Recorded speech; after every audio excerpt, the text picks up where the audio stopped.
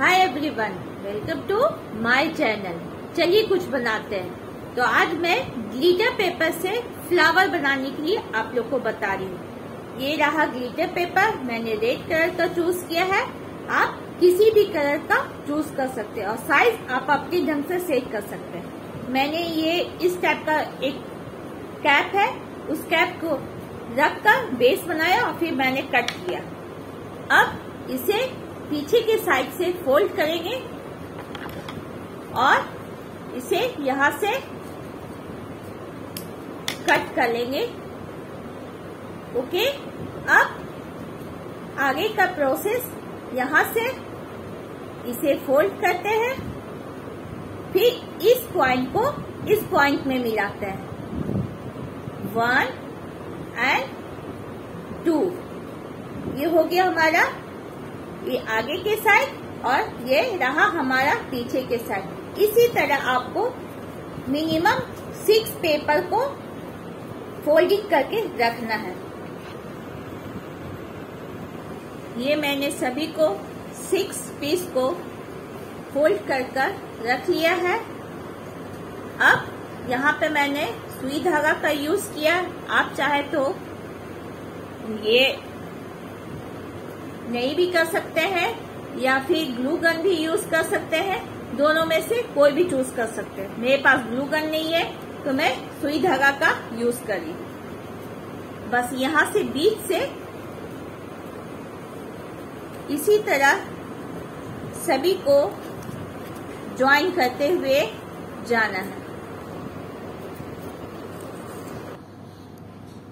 यहाँ पे सभी को मैंने थ्रेड से एक साइड ज्वाइन कर दिया है। ज्वाइन करने के बाद ये आपको इस टाइप से दिखाई देगा। अब मुझे यहाँ पे फ्लावर का शेप लाना। तो फ्लावर का शेप लाने के लिए पहले ये सभी को एक दूसरे के साथ थोड़ा सा डिस्टेंस देके खोल देंगे और फ्लावर का शेप दे देंगे। क्योंकि ये जो मेरा लास्ट वाला जो पैटर्न है, यहाँ से, ये सुई धागा से इसे इस पैटर्न को इस पैटर्न से ज्वाइन कर देना है। दो ज्वाइन करना है, ज़्यादा ज्वाइन करने की ज़रूरत नहीं है, नीचे से ले जाना है और इस टाइप से इसे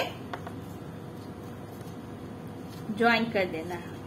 मैंने वन ज्वाइन किया है, एक ज्वाइन करना और बाकी है। ये मेरा सेकेंड ज्वाइन है। यहाँ से ज्वाइन करने के बाद ये सुई को अंदर साइड ले जाएँगे और यहाँ से इसे घींच लेंगे और उसके बाद ये जो हमारा थ्रेड है, उसे कट कर लेंगे और इसे आराम से इस ढंग से सेट पहले करेंगे। मैंने यहाँ पे सेट कर लिया है। आप अपने हिसाब से सेट कीजिएगा। ये थोड़ा सा फ्लावर का शेप आ गया। अब ये जो बीच का साइड है, मैंने येलो कलर का एक ग्लिटर पेपर लिया है। यहाँ पे सर्किल कट करके पेस्ट करना है। मैंने फेविकोल से बीच में पेस्ट कर लिया है। ये ग्लिटर पेपर है तो पेस्ट करने में टाइम लगता, आपको पाँच मिनट इसे होल्ड करके रखना। तो होल्ड करने के बाद ये आपका इस डिज़ाइन में फ्लावर रेडी हो जाएगा। आप थ्रेड भी यूज़ कर सकते हैं ग्लू गन भी यूज़ कर सकते हैं। तो ये हमारा ग्लिटर पेपर फ्लावर रेडी हो गया। इस तरह से मैंने दो तीन और बना के रखे हुए हैं। ये देखिए। लग रहा है ना ब्यूटीफुल एकदम शाइनिंग कर रहा है तो आज का वीडियो अगर आपको मेरा पसंद आया है तो प्लीज़ लाइक एंड शेयर कीजिएगा और सब्सक्राइब कीजिएगा।